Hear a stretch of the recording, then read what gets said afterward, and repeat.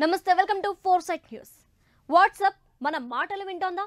మన microphone access WhatsApp కెందుకు Twitter engineering డైరెక్టర్గా వ్యవహరిస్తున్న ఫోర్ డబరీ ఆరోపణ. ఈ ట్వీట్ వెనుక ఎలన్ మస్క్ ఉన్నారా? ట్వీట్కు స్పందించిన కేంద్ర మంత్రి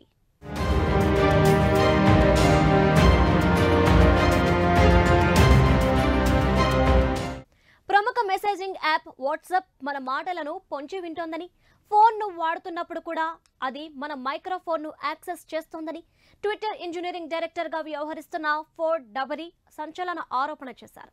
తాను ఉదయం ఆరు గంటలకు నిద్ర లేచానని అయితే తాను నిద్రిస్తున్న సమయంలో కూడా వాట్సాప్ తన మైక్రోఫోన్ను బ్యాక్గ్రౌండ్లో వాడుతోందని పేర్కొంటూ దానికి సంబంధించిన స్క్రీన్ షాట్లతో సహా ట్వీట్ చేశారు.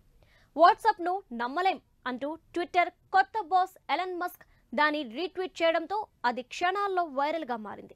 ఆరున్నర కోట్ల మందికి పైగా ఆ ట్వీట్ను చూశారు.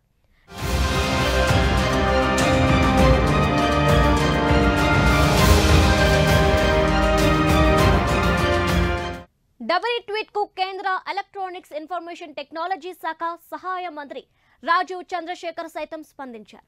ఇది వాట్సాప్ వినియోగదారుల వ్యక్తిగత గోప్యతను ఉల్లంఘించడమేనని ఎట్టి పరిస్థితుల్లోనూ ఆమోదయోగ్యం కాదని ఆయన ట్వీట్ చేశారు.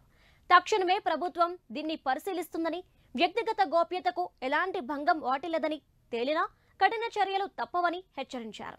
డేటా భద్రతకు సంబంధించి digital personal data protection bill సిద్ధమవుతోందని పేర్కొన్నారు. కాగా డబరి ట్వీట్పై వాట్సాప్ యాజమాన్యం కూడా స్పందించింది. తాము అతడితో గత ఇరవై నాలుగు గంటలుగా సంప్రదింపులు జరుపుతున్నామని అతడు గూగుల్ పిక్సెల్ ఫోన్ వినియోగిస్తున్నాడని ఇది ఆండ్రాయిడ్లో ఉండే బగ్గా భావిస్తున్నామని పేర్కొంది. దీనిపై దర్యాప్తు జరపవలసిందిగా కోరామని ట్వీట్ ద్వారా తెలిపింది.